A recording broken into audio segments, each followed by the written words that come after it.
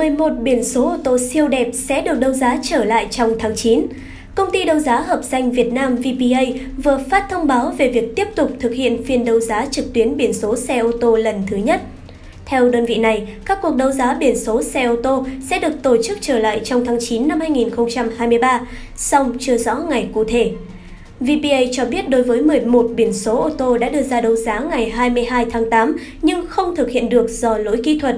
Đơn vị vẫn đảm bảo giữ nguyên quyền lợi của toàn bộ khách hàng đã nộp tiền hồ sơ, tiền đặt trước đăng ký tham gia đấu giá.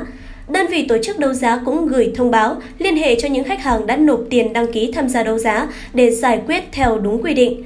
Thời hạn nộp tiền đặt trước với 11 biển số này đã hết nên không phát sinh thêm khách hàng đăng ký tham gia.